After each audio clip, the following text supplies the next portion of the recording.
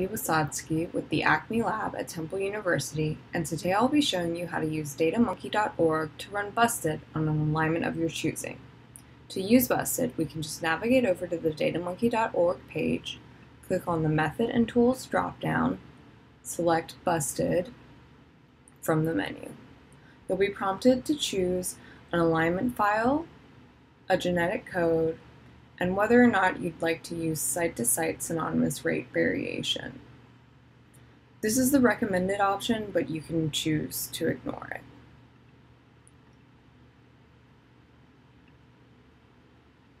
So today we're going to be using an HIV reverse transcriptase alignment, which uses the universal genetic code, and we are going to be using synonymous rate variation.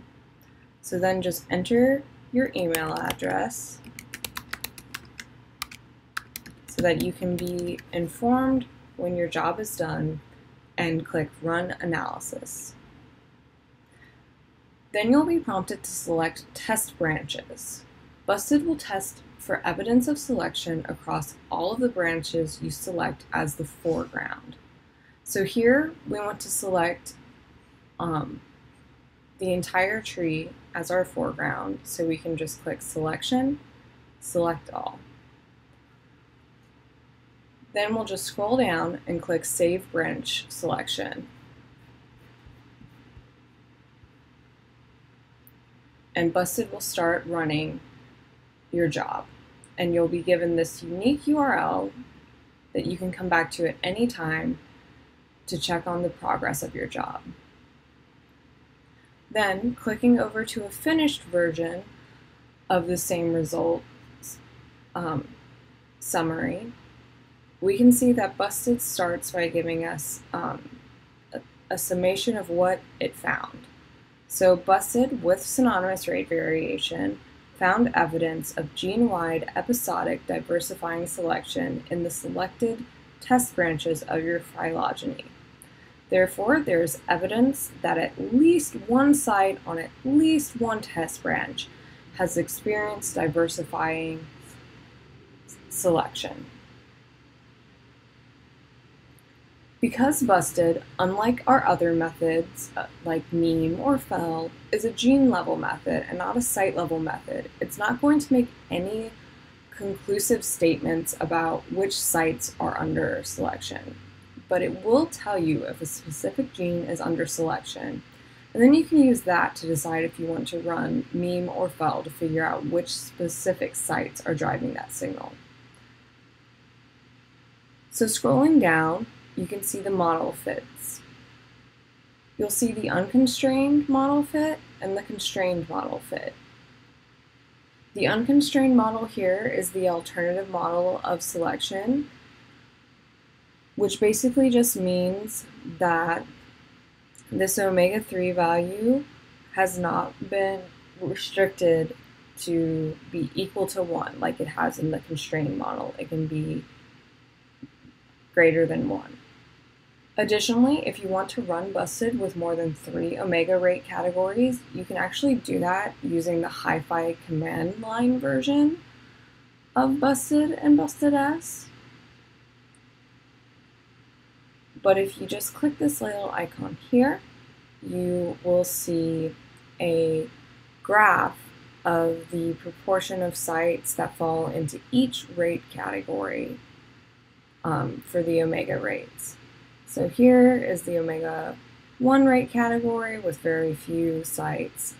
Here's the omega 2 category with a lot of sites, and here's the omega 3 category, again with just a few sites in it. Um, then this dotted line represents neutral selection or omega 3 equal to 1.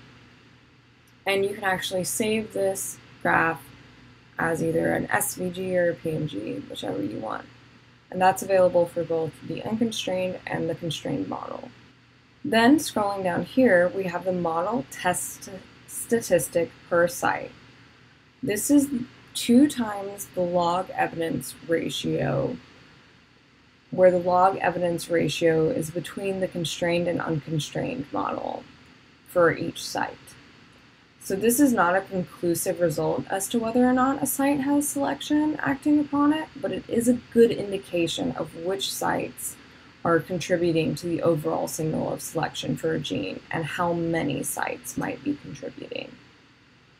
So we actually know that for this reverse transcriptase gene, that the sites from 40 to 240 are where most of the drug resistant related mutations are happening. And we also see that that's where most of the sites that are driving the signal of selection are as well. So just all of these sites with peaks are generally sites that are driving um, this signal of selection over the gene. So as you saw, you can click this graph and actually select a range of sites and it will change and impact how this table below is being displayed. So then you can actually sort this table by like the constrained um, likelihood or the unconstrained likelihood and get an idea of which sites are um, contributing the most to the signal of selection. Again, these likelihood numbers don't necessarily mean that selection is acting on that site. It's just a good indication that that um, there's something going on there. So then scrolling down, we have the gene tree where you can see which branches are in the foreground, so which branches were actually tested for evidence of selection. Um, and that's pretty much all for Busted and Busted S. If you have any other questions, uh, let us know either at our GitHub or at our Twitter, which is at hyphy underscore software. And feel free to leave a comment below as well. I hope this helps. Thanks.